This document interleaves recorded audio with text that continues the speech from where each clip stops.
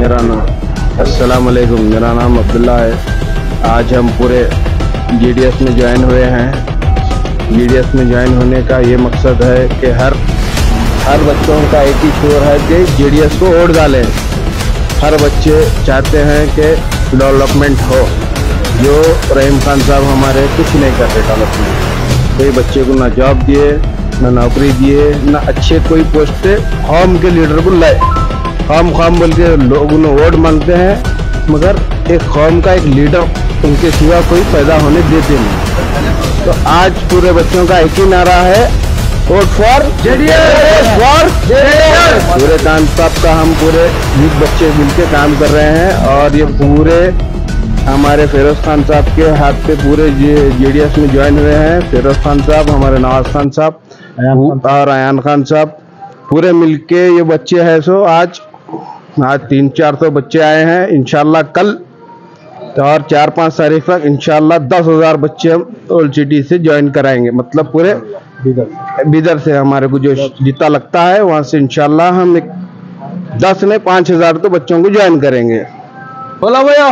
बोला असलम रहमतुल्लाह बरकत आज जितने भी हमारे साथी और हमारे भाई आए हुए यहाँ पर जेडीएस जान हुए से फिरोज भाई के हाथ में हमारे नवाज़ मामा के हाथ में और हमारे अयान खान साहब के हाथ में ज्वाइन हुए से पूरे जने और इनशाला हम क्या है जेडीएस का काम करें और हम जेडीएस को भारी से भारी संख्या में जिता के लिखाने की कोशिश में है।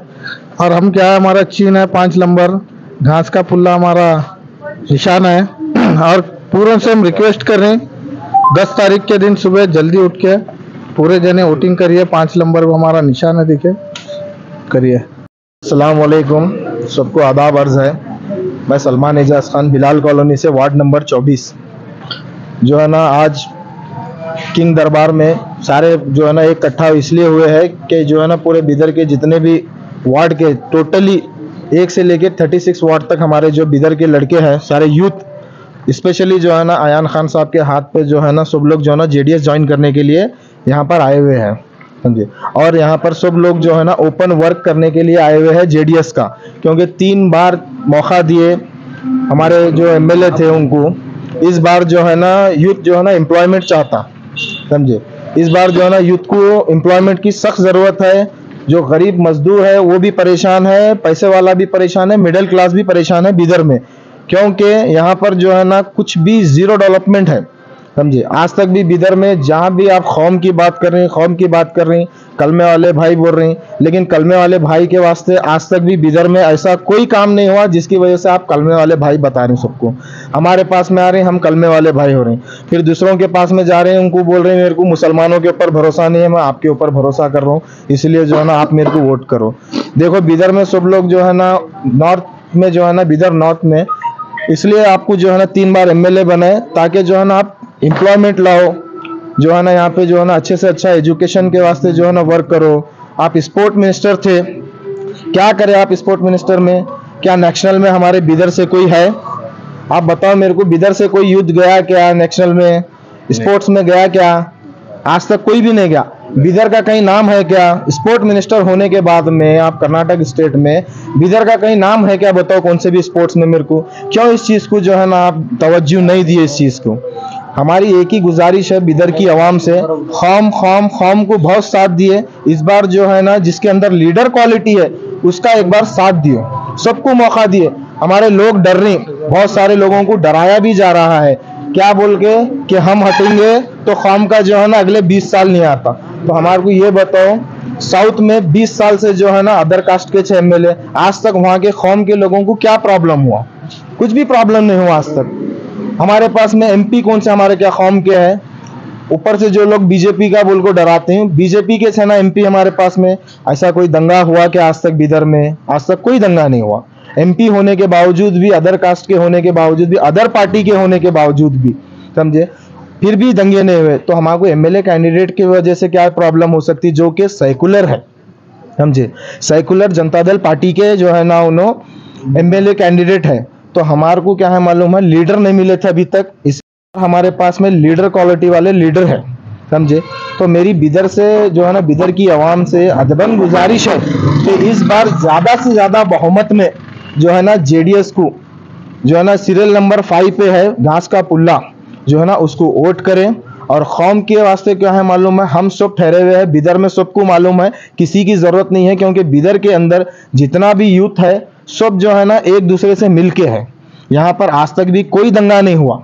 हर कास्ट मिलके। हर कास्ट यहाँ पर मिलके है और आगे भी मिलके रहेंगी। हाँ सूर्यकांत साहब से जो है ना बीजेपी में थे बोल के कुछ लोग नाराज़ थे, लेकिन उन्हों, लोगों के वास्ते उन्होंने अपने लिए नहीं, लोगों के लिए जो है ना जेडीएस ज्वाइन करे, नहीं तो उनको बीजेपी पार्टी छोड़ने की कोई ज़रूरत नहीं थी। उनको हमारे बिदर के लोग जो है ना फोर्स करके जेडीएस ज्वाइन कराए सो है। ये पार्टी बदलू दल बदलू नहीं थे। क्योंकि जो बोल रहे ना उन्होंने भी एक टाइम में दूसरी पार्टी से ये पार्टी में ऐसो है। उन्होंने कोई प्रॉपर जो है ना कांग्रेस से जन्म लिए सो नहीं है कोई भी। समझे? सब एक पार्टी छोड़ के दूसरी पार्टी दूसरी पार्टी छोड़ के तीसरी पार्टी जिसको जहाँ अच्छा दिखा वहाँ गए। समझे तो सूर्यकांत साहब जो है ना कोई नया नहीं काम करे। बीजेपी से जो है ना जेडीएस में ज्वाइन होके। बिल्कुल उन्होंने अवाम के वास्ते ज्वाइन हुए और जो है ना वर्क करने के लिए ज्वाइन हुए। हम सेकुलर लीडर है उन्होंने समझे मैं एक बात बोलना चाहता हूँ। हमारे मुसलमान वार्डों में लॉकडाउन में हमारे जो है ना कौम के जो कलमे की बात कर रही ना उन लोग को वर्क नहीं करे। उस टाइम पे किटा नहीं दिए। समझे सब अपने अपने घरों में थे। सूर्यकांत सर बीजेपी में रहते हुए भी जो है ना आ करके पूरे बिदर के अंदर अपन खुद घूम के अपने हाथों से जो है ना किटा बांटे सो है। तो आप बताओ, उनो साइकुलर है, क्या इनो साइकुलर है, कौन साइकुलर है फिर? अब मैं यही जो है ना सवाल जो है ना हमारे बिदर की नॉर्थ की आवाम से करना चाहता हूँ सेकुलर कौन है? आप डिसाइड करो। किसी को कम्युनल बताने से या जो है ना बी टीम बोलने से नहीं होती। समझे? ना जेडीएस कभी बी टीम थी, ना है, क्योंकि ऑलरेडी जो है ना कांग्रेस के अठारह एमएलए पाँच साल पहले जो है ना जो इलेक्शन हुआ था, उसके बाद में अठारह एमएलए जो है ना बीजेपी में जाने की वजह से बीजेपी को समर्थन देने की वजह से आज कांग्रेस की जो है ना सरकार जेडीएस की जो मिली भगत सरकार थी, वो गिर गई। किसकी बनी? बीजेपी की बनी। किसकी गलती से? कांग्रेस की गलती से। जेडीएस बहुमत में रहती तो आज ये नहीं होता था।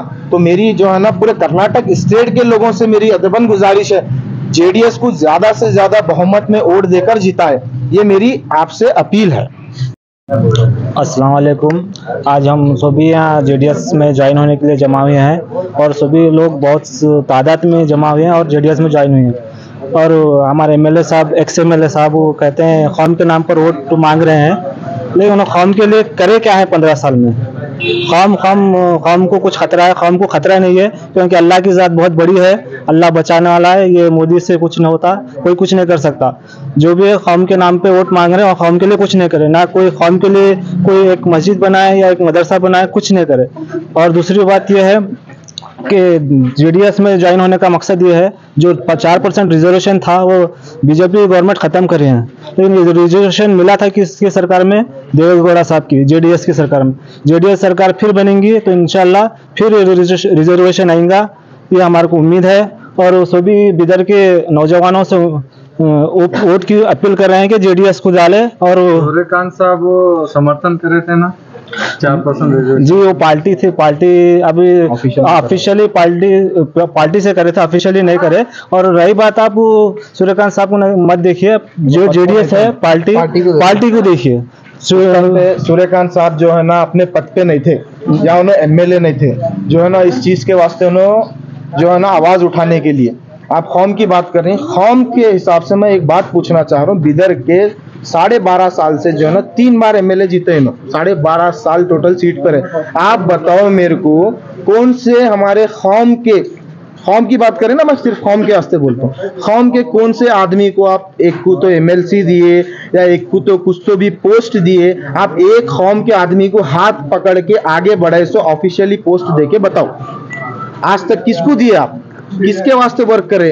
कौम के वास्ते वर्क करें आप कौम के वास्ते क्या वर्क करें? आप कौम के ऊपर वोट मत मांगो। आप ये जो स्टार्ट कर रही ये बहुत गलत चीज़ स्टार्ट कर रही कौम कौम करके। आज आप कौम की बात करेंगे तो कल दूसरे लोग भी बिदर में कौम की बात करेंगे। इसलिए मैं चाहता हूँ ये साइकुलर है। बिदर क्या है? साइकुलर है। तो आप कौम की बात टोटली मत करिए। आप अपने डेवलपमेंट पे ये बीजेपी बीजेपी की आइडियोलॉजी को इस्तेमाल कर रहे हैं। बीजेपी के आइडियोलॉजी को इस्तेमाल करके कौम के नाम पर डराकर वोट मांग रहे हैं। आप अपने काम के नाम पे वोट मांगो कौम के नाम पे मत मांगो। काम जो करें आप वो काम बता के वोट मांगिए। बिल्कुल। हम डेवलपमेंट क्या करें उस चीज़ पे आप बताओ। आप उस पे वोट मांगो। कौम की बात मत करो।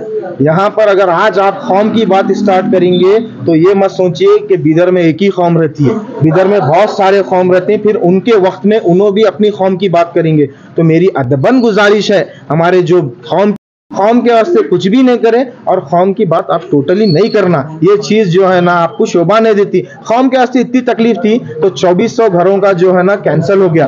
जब उसके सिर्फ़ एक सिग्नेचर होना था, समझे? एक सिग्नेचर होना था, उनकी उन्होंने जाको सिग्नेचर नहीं करे। एक सिग्नेचर करते तो 2400 लोगों families only one one person से 2400 नहीं, समझे? 2400 फैमिलीज़ के छत आने से पहले उनके सर के ऊपर से चले तो इसका रिस्पॉन्सिबल कौन है? दो साल बिल्कुल नहीं बने। सीएमसी इलेक्शन होके जो है ना दो साल हो गया। क्यों नहीं बने आप सीएमसी इलेक्शन में? चेयरमैन क्यों नहीं बने सीएमसी इलेक्शन होने के बाद में? इसकी भी वजह पूरी बिदर की आवाम जानती समझे? हैं डेवलपमेंट ज़ीरो है बिदर में। आप वो भी जो है ना इधर उस तो था करके जो है ना ये छोटे मोटे रोडों को जो है ना आधी आधी रोड डाले से। आप जाके देखो यहाँ सामने से शाहपुर गेट की पूरी आधी रोड है। पूरी कंप्लीट रोड नहीं है। ओल्ड सिटी में चले जाओ आप, आधी रोड बनी, आधी रोड नहीं बनी। कर्नाटक कॉलेज के सामने आधी रोड बनी, आधी नहीं बनी। क्यों नहीं हुआ ये वर्क ये वर्क क्यों नहीं कंप्लीट करे आप? अगर आप बात कर रहे थे, बिदर को डेवलपमेंट करने की बात कर रहे थे, आप बिदर को बहुत सारे ख्वाबा दिखाए थे यूथ को बहुत सारे ख्वाब दिखाए थे। आप क्यों पूरे नहीं करे? आप तो इकतेदार में थे, आप जो है ना पावर में थे, आप स्पोर्ट्स मिनिस्टर थे। आप क्या करें बिदर के लिए? आप वो बता करके वोट मांगे, मेरी अदबन गुजारिश है हाथ जोड़ के। आप इस चीज़ को स्टार्ट मत करो कौम की बात को, आगे बहुत अलग हो जाती मसले।